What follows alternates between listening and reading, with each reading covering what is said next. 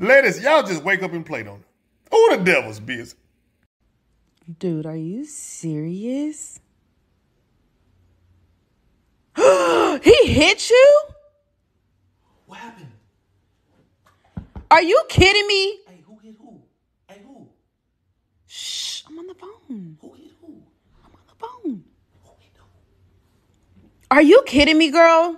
No, because I'll send Brandon over there right now. I'll send him over there. Where did he hit you at? He hit the baby? Shut up.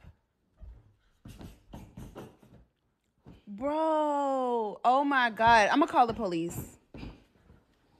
Do you want me to come over there too?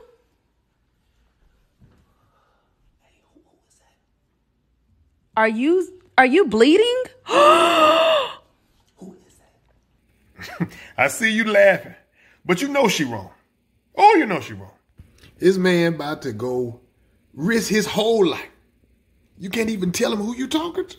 Ladies, y'all just volunteer your men. My rule of thumb is I'm gonna help come save you one time. Now, if you go back to him again, you need to call Crime Stopper or McGruff the Crime Dog or somebody. Ain't no use of you, the baby, and me getting beat down. Only for me to be in the hospital and you stop by talking about. That's my man. And I'm gonna stick beside him. I said all that to say, love yourself before you love somebody else. Cause this folks dying ain't never died before. Just so you know, the devil is busy.